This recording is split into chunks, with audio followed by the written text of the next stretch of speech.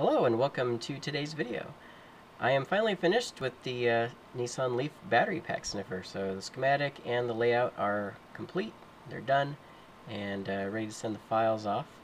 And um, yeah, I uploaded a bunch of videos, uh, time-lapse of the entire process, and um, most people enjoyed it. I got a few people saying, hey, that was really cool, but uh, I also had a bunch of people unsubscribe, so it wasn't their thing, so, you know. Um, I guess they don't need to know about how electronics are made. But anyways, um, this design had a bit of free, uh, feature creep. Um, out of the original uh, prototype I built, the microcontroller is the same. Still got the DSPIC 33EP 256 MU806 microcontroller in here, made by Microchip. And uh, still got the little display. It's the same uh, 16 character by 2 line display. Um, 5 volt to 12 volt boost converter. And a 5 volt to 3.3 volt linear regulator to power the microcontroller and a voltage sense circuit that senses the input and the output. That was the same on the uh, servo controller and a USB port. On the uh, on the um, version that I made with the servo controller, the just the USB port just provides power. So some additions I had uh, already uh, micro SD card, so I threw that on there.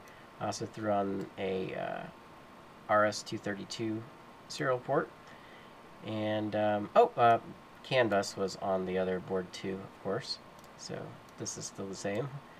And uh, added some bicolor blinky LEDs, so green and red. And this is the power supply to run the micro SD card.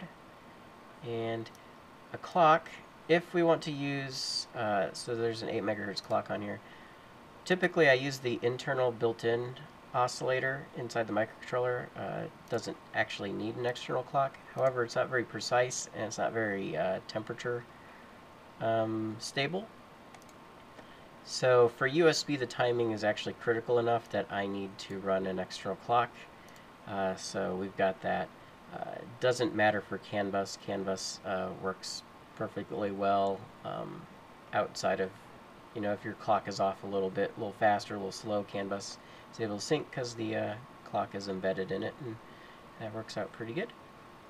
And um, yeah, so that's pretty much it. I added some little prototype, prototypey spots. You'll see that here in a second. So on the layout, here's the 3D view. Um, just occurred to me that I don't have a way to rotate this because I'm holding the phone, so this camera is probably heavy enough to hold down the shift button for me. Uh, maybe. um, oh wait, here, let's try this way. Yes! Okay. See, that's what we're talking about here. And I can rotate. So, underneath here, you can see I've crammed in a bunch of, um, you know, they got these capacitors for the boost converter, so those are your input-output capacitors. Serial port on the side here. Um, for the standard one, I'm I don't think I'm going to populate any of the, to save cost, nothing's going to be populated except for the bare minimum to do the leaf sniffing. Uh, unless people really want everything else populated, there's not going to be any code to run it, but uh, I guess we can release the source code. Uh, there's a little pot here to adjust the contrast on the display. Come around to this side. This is a C-Grid connector. This is what will uh, go to the 3D printed um, plug that goes into the leaf pack. Under here is the micro SD card slot, which won't be populated, and here is the uh, micro or yeah micro USB connector, which will be populated. So I got to cut a little notch out here in the box on this side, and cut a little notch out here.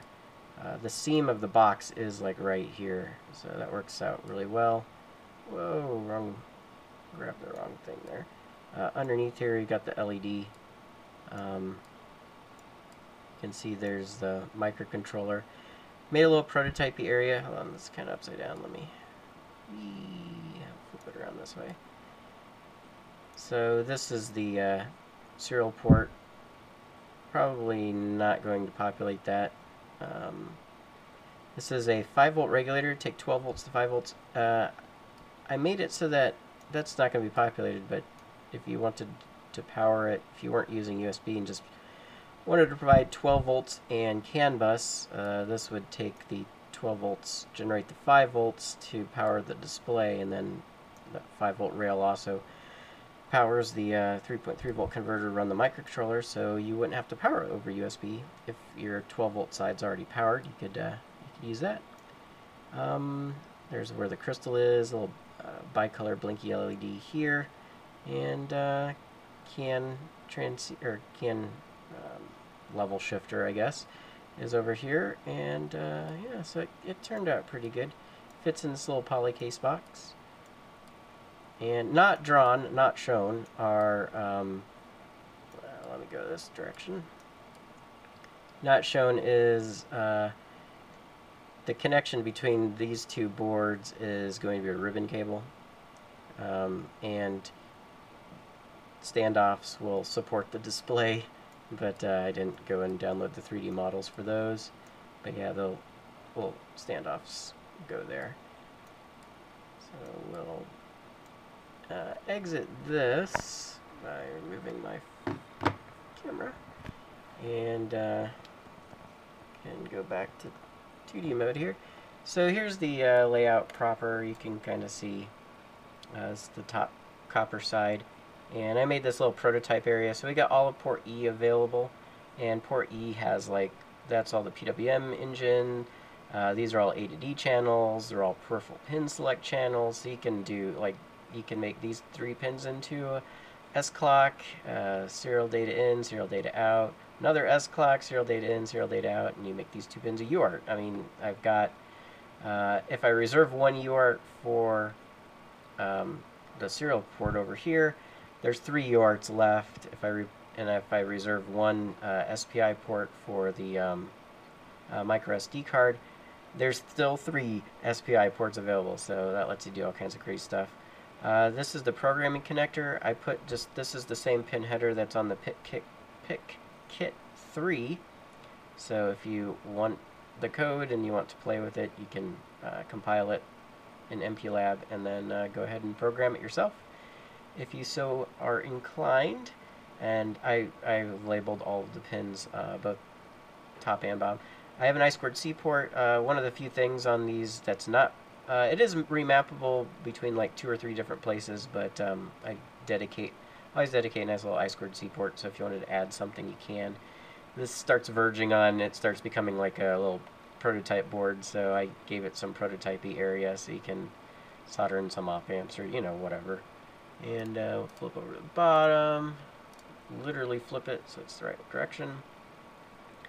And um, yeah, so same thing on the back here. We've got uh, all the cans labeled, grounds labeled, 12 volts labeled, and 3.3 um, volts and ground are labeled there.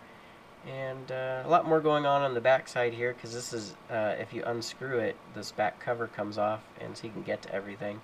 So you can prototype on this side or the other side, doesn't matter.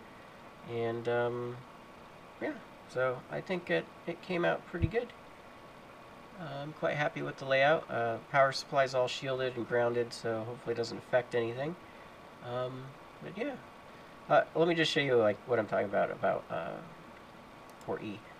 Port E is not only the um, entire, uh, all of port E, uh, 0 through 7, so it's a full 8-bit port.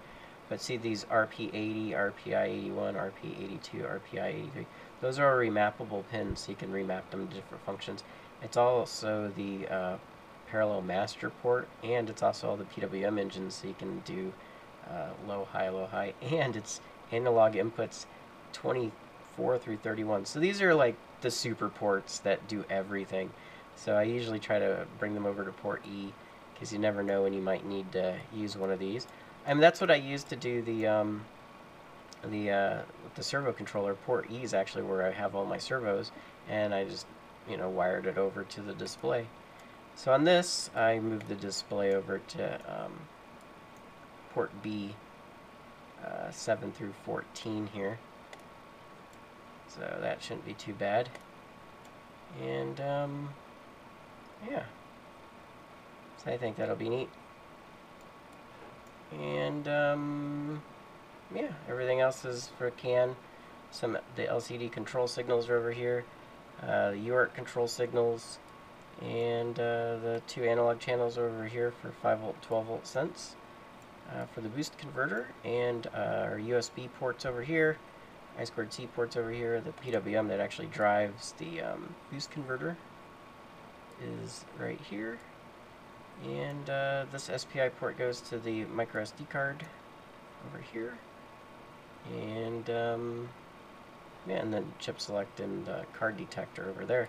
So yeah, that's that's pretty much everything. And then uh, there's of course the programming port, which, like I said before, is the same pinout as the PIC Kit 3, so you can reprogram it. You can also use the ICD3. That's what I use for debugging. And um, yeah. I think it, uh, I think it came out pretty good. Anyways, um, yeah, this video's gone really long. So, uh, anyways, uh, thanks for watching. Bye.